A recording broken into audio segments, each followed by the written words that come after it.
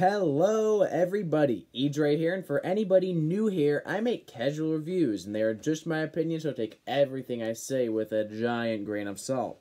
Today, I'm going to be reviewing the brand new Zayn album, Nobody Is Listening. Bit of background uh, for those of you who don't know who Zayn is. Uh, Zayn is a One Direction fan. Uh, my thoughts. One Direction. What do I think? Uh, One Direction, I genuinely think, honestly, gets way too much hate. Are they the best? Not even close. But in terms of boy bands, I think they were one of the more more engaging and more fun, just kind of like light-hearted boy bands earlier in the 2010s. And well, obviously they didn't last too long and now all the members are out doing their solo thing. I do think in many ways the solo projects seem much more serious, much more well focused than anything that went on during the One Direction days. And I don't have anything against Zayn's solo work, but none of it up to this point has really grabbed my attention too much. I think overall it is just, you know, alright. I didn't have anything too against any of it, so um, yeah. Let's just get straight into it. Musically. The opening track is actually a relatively compelling, introspective track that kind of took me by surprise. I'm not used to hearing Zayn and more pop artists that used to be in boy bands make really introspective material, and yet that is what happened. I wouldn't say it's like the greatest thing ever. It's not the greatest, it's not even the greatest introspective personal track I've heard really at all. But it did surprise me in a good way.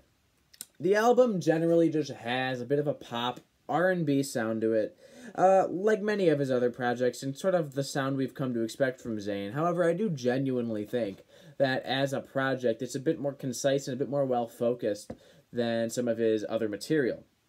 However, you know, there's going to be parts here and there that I'm not that crazy about. Tracks like Better, while they are well crafted in their own right, I feel like they come across a little too standard and a little too boring. And what I mean is that they're very predictable. I could tell that that's a song that he's kind of trying to get a hit out of.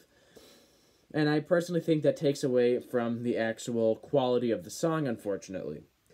I don't have anything too against it. I just feel like out of all these songs here, some of the songs like Better just come across a bit more forced and aren't as interesting to me. Luckily, however, Zayn does seem to get a little bit back on track the further you get into this project. You know, tracks like Vibes seem to be a bit more interesting, have a bit more interesting instrumentation without a doubt. And uh, the next two tracks that I'm going to talk about are actually my two favorites on here. Sweat.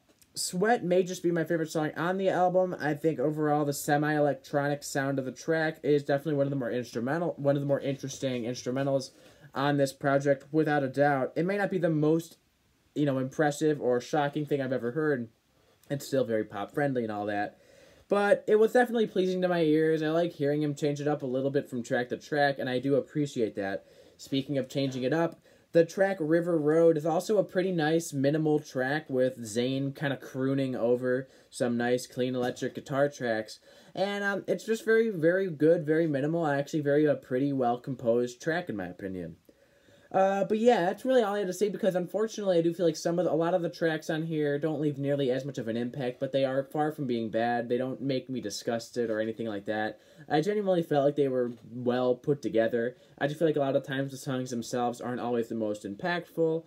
But yeah, songs like Sweat and River Road are definitely some of my favorites, whereas Better isn't really one of my favorites. Production wise, I feel like, uh, you know, Nobody is Listening is produced kind of standard, like your standard R&B pop album. Uh, once again, nothing too shocking there, but it's not a bad production. I think it actually fits.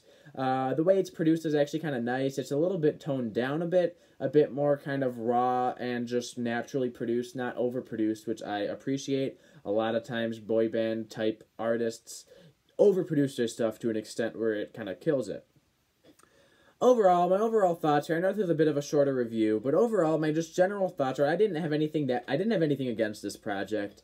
Uh, even though I didn't love it, I don't see myself coming back to this a ton. I think it is a relatively averagely good project. You know, Zayn's efforts do pay off here and there.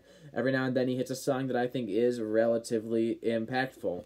While some parts of this album, in my opinion, may drag a little and might be a little bit forgettable, I think on average, most of these tracks seem well focused and well composed and well crafted, and there is actually a pretty decent variety of introspectiveness, a bit variety of the different types of instrumentals, and overall, I think that he definitely did try, and for the most part, he did do a good job. Like I said, though, not my favorite thing I've ever heard. I've heard better pop music. I, I, I, it's, I don't love this thing, but I do think overall it was better than better than average, and overall, it's just it is what it is. I have settled. I'm giving Zayn, Nobody is listening.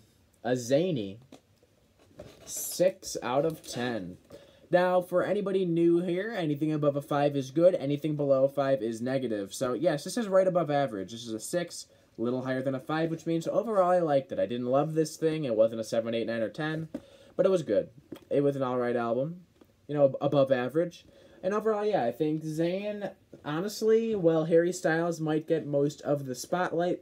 I do think that Harry Styles' solo career up until this point has been probably the most predictable, and I think that Zayn might have probably the most interesting solo work from One Direction to this point, and it's definitely better than I think anything One Direction has done.